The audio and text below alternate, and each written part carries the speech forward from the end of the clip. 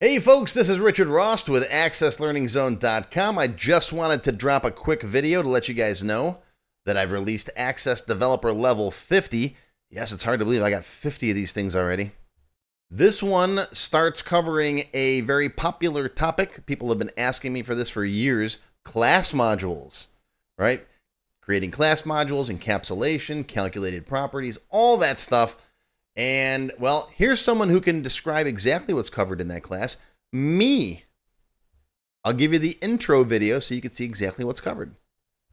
Welcome to Microsoft Access Developer Level 50, brought to you by AccessLearningZone.com. I'm your instructor, Richard Rost.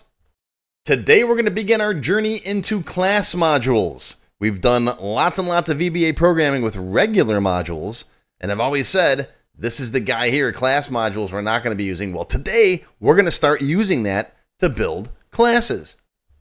We're going to review user defined types, which we've covered before in Developer 40. We're going to build a class module. We're going to learn about encapsulation. We're going to create calculated and read only properties. We're going to add methods and behaviors to a class. And then we're going to finish it all up with a real world example using data from our customer table. This class follows Access Developer 49. While I strongly recommend you take all of my classes in order, it's not necessary, but you should have a good solid understanding of Access. The beginner series is a must. The expert series, especially the stuff on relationships. Developer 16 will be important because we are going to use record sets today.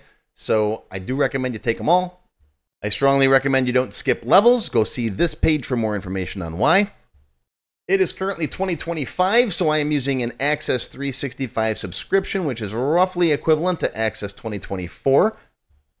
The material covered in today's class should work all the way back to, I'm guessing, Access 2007 or so. If you have any questions regarding the material covered in today's class, just scroll down to the bottom of the page that you're on and post your questions there. Also, take a minute to read through any other questions that have been posted, as your question may have already been answered. And if you want to get notified anytime someone posts a question or other information about this course, click on that red subscribe button. If you got any other questions about Access in general, post them in the Access forum. I got a great group of moderators, and we all love helping people out with their questions. All right, let's take a closer look at exactly what's covered in today's class.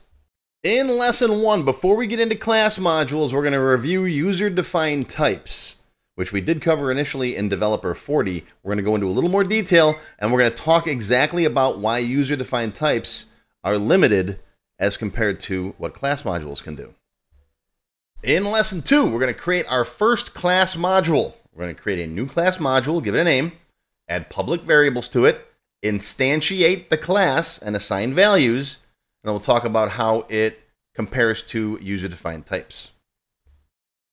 In lesson three, we're going to learn about encapsulation. That's taking our variables and making them so that they're limited to just the class. You have to use the class to read and write the data, right? Not everybody in the, you know, not every form, not every report can read the data directly from the class. Only you can. That's called encapsulation. We'll talk about that in this lesson. In lesson four, we're continuing on with our class stuff.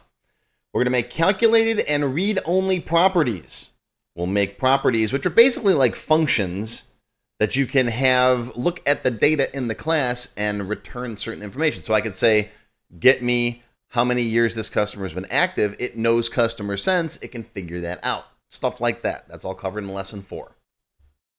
In lesson five, we're going to add methods and behavior to our class, right? It's no longer just about storing data and retrieving data. Now we can actually do stuff. For example, deactivating a customer right? We can flip them from active to deactivated, but the logic is handled inside the class itself, and we can add rules to it, right? You can't deactivate a customer that's less than a year old, that kind of stuff. All right, that's all covered in lesson five. In lesson six, we're going to wrap it all up today with a real world example. We're going to use a record set, loop through all the customers in our table, set each customer into a class using the class logic and then display it with the class functions so we get the full name and their customer status straight out of the class functions. And then it's going to be pretty cool. So check it out. That's all in lesson six.